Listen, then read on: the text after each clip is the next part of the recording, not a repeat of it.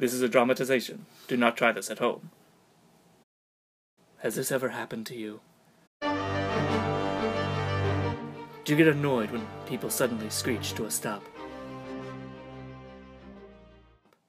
Or when they ride their brakes? Or when, or when they ride their brakes? Don't you wish brake lights were more descriptive?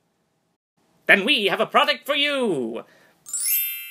Pressure sensitive brake lights. This sensor under the brake pedal measures the pressure that is applied to the brakes.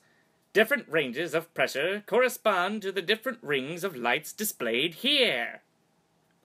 Additionally, there is this accelerometer, which measures the angle of which my car is traveling down, and if that angle is steep enough, six degrees, all my brake lights will be illuminated to their fullest potential.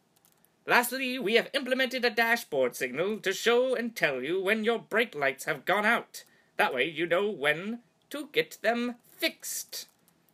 Production of this project requires the use of mainly electrical engineering due to the large amounts of wiring and coding required, but some mechanical engineering is required to make the concept a reality. Some assembly required. Only available in select locations, the only location being Louisiana Tech Living with the Lab 122 class. Pressure sensitive brake lights.